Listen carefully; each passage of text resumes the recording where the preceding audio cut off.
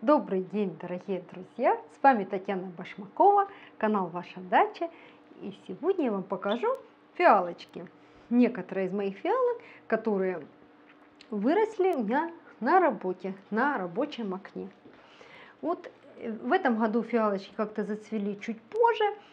Вот я выбрала, оставила на рабочем окне тот сорт, который наиболее устойчивый и к засухе, и к переполиву, и ко всему. Вот так выглядят фиалочки. Они уже цветут где-то полтора месяца. Вначале был один цветочек, это как бы второе цветение, но пышного цветения, которое должно быть в этот момент, пока у них нет.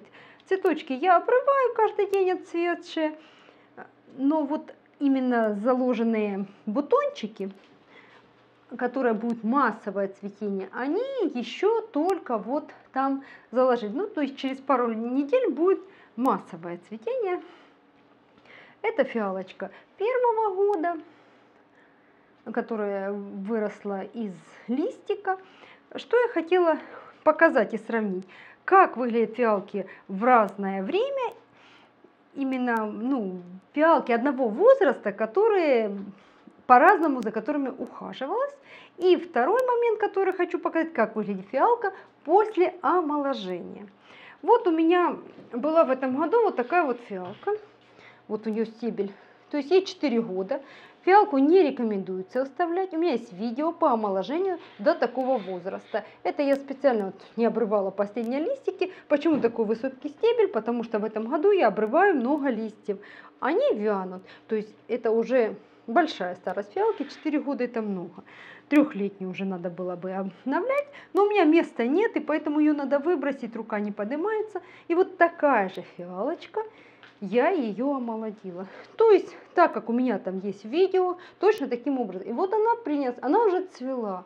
Но цветочков было по парочке. Цветочков еще нет, надо бы ее подкормить и она будет цвести. Стоит она тоже на северном окне, но листья еще не такие большие, потому что она прошла омоложение только в этом году. Как бы она только восстановилась, укоренилась, все нормально.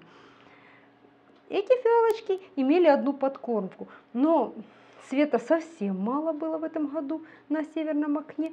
И вот листики, ну, немножко тянутся.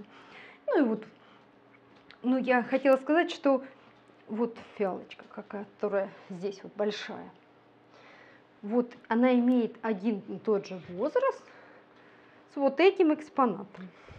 Этот экспонат жил у нас на даче всю зиму, и за ним ухаживала не я.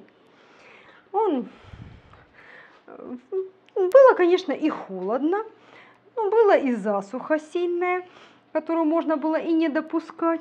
И вот один и тот же сорт. Она не цветет, она не выпустила ни одного цветка. Даже омоложенная фиалка, и та цвела. И у нее вот именно с этой фиалкой один возраст. Я их садила одновременно, просто эту отвезла на дачу. И вот так вот может выглядеть фиалка. Я просто хотела для сравнения показать, что иногда мы говорим плохой сорт, нас обманули. У нее даже листики остренькие. Если бы я сама не знала и не садила, я бы не поверила, что это один сорт. Тут листики остренькие, здесь круглые. Здесь черешок длинный, но здесь очень короткий. Ну, это холод, свет, засуха и листья даже немножко покрюченные. Ну, вот такие фиалочки. Насчет ухода, тоже вот красиво. Это мне просто женщина подарила листик. И у меня теперь уже деток очень много от этой фиалочки. Она тоже неприхотливая. И буду ее выращивать. Вот что я вам хотела сегодня показать, такие интересные моменты. А подробности об уходе за фиалками, размножении, ну, у меня есть другие ролики. На этом на сегодня буду прощаться. До новых встреч!